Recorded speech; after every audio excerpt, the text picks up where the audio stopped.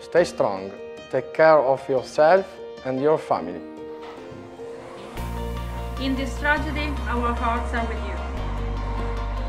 Your courage is an inspiration for us all.